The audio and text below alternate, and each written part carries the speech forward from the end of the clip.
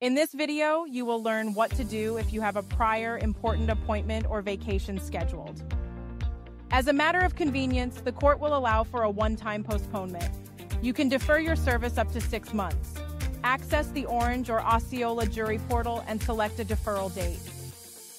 Thanks for watching. For more information, please visit our website at www.ninthcircuit.org.